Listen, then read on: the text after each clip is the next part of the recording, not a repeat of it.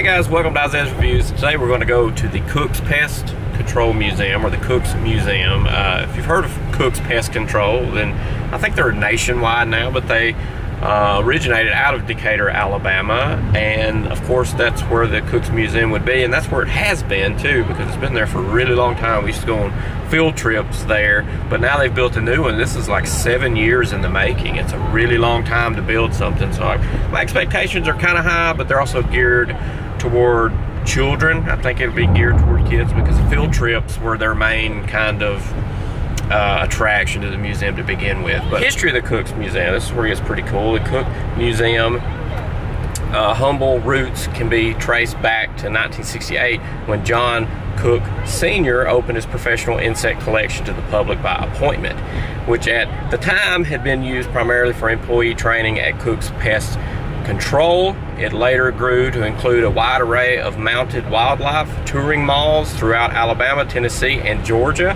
1980, additional collections of rocks, minerals, fossils, coral, seashells, mounted wildlife, and federally protected migratory birds were acquired and a 5,000 square foot building was constructed. At that time, what became known as Cook's Natural Science Museum came into existence and it welcomed more than 75,000 750,000 visitors from its opening in 1980 until its closing in 2016. The Cook Museum of Natural Science grand opening in June 2019 marks the culmination of an approximately 50 year vision in the making. So that is extremely cool. Uh, Mr. Cook's inspiration and motivation for the museum came from his desire to generously serve and support his local community and region to creatively display God's creation. The Cook family continues this legacy with the Cook Museum of Natural Science, and we're still driven by the same vision today. And the president and board chairman is Brian Cook, so I'm assuming he is a descendant. I've been looking for this. I think I've been talking it up for